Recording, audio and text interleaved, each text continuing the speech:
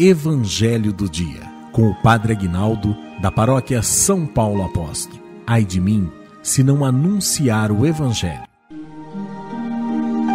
O Senhor esteja convosco, Ele está no meio de nós. Proclamação do Evangelho de nosso Senhor Jesus Cristo, segundo Lucas. Glória a vós, Senhor. Naquele tempo, os dois discípulos contaram o que tinham acontecido no caminho e como tinham reconhecido Jesus ao partir o pão.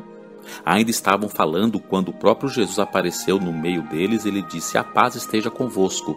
Eles ficaram assustados e cheios de medo, pensando que estavam vendo um fantasma. Mas Jesus disse: Por que estáis preocupados e por que tendes dúvida no coração? Vede minhas mãos e meus pés, sou eu mesmo. Tocai em mim e vede. Um fantasma não tem carne nem ossos, como estáis vendo que eu tenho. E dizendo isso, Jesus mostrou-lhes as mãos e os pés. Mas eles ainda não podiam acreditar porque estavam muito alegres e surpresos. Então Jesus disse: Tendes aqui alguma coisa para comer? Deram-lhe um pedaço de peixe assado. Ele o tomou e o comeu diante deles. Depois disse-lhes: São estas as coisas que vos falei quando ainda estava convosco. Era preciso que se cumprisse tudo o que está escrito sobre mim na lei de Moisés, nos profetas e nos salmos. Então Jesus abriu a inteligência dos discípulos para entenderem as Escrituras e lhes disse: Assim está escrito: o Cristo sofrerá, ressuscitará dos mortos ao terceiro dia, e no seu nome serão anunciados a conversão e o perdão dos pecados a todas as nações, começando por Jerusalém. Vós sereis testemunhas de tudo isso. Palavra da salvação. Glória a vós, Senhor. Que a palavra do Santo Evangelho perdoe os nossos pecados em nome do Pai, do Filho e do Espírito Santo. Amém. Amados, o que nós temos que entender aqui nesse Evangelho, algo muito simples, até para a gente trazer para a nossa vida, não é? Que às vezes a gente acha que os discípulos, aquelas pessoas que estavam próximas de Jesus, quando Jesus ressuscitou, eles acreditaram e foi tremendo e foi maravilhoso, eles não tinham dúvida no coração. Não, eles tinham.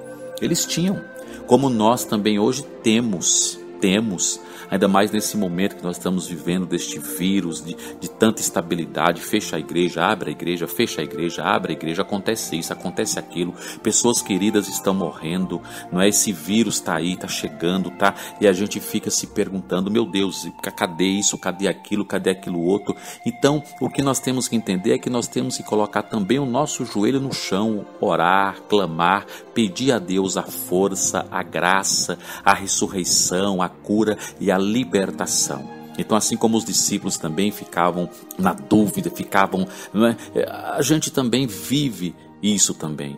É? Porque o interessante é que a fé é acreditar naquilo que não se vê, e não é fácil. É por isso que nós temos que rezar, pedir a Deus essa graça de termos fé, de acreditar, de estar na presença dEle, buscar, querer Ele. E Jesus, ele, ele faz a parte dele. A paz esteja convosco, deseja a paz, não é? Ele mostra as mãos, mostra os pés, mostra o lado. Olha, sou eu mesmo, gente, vamos caminhar, tá entendendo? O vírus tá aí, é verdade, tá complicado para a humanidade, é verdade, mas eu estou convosco até o finais do tempo, dos tempos.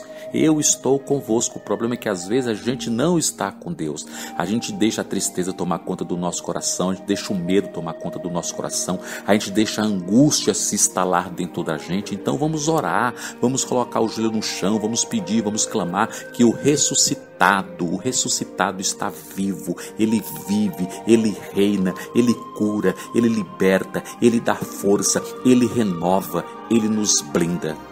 Amém.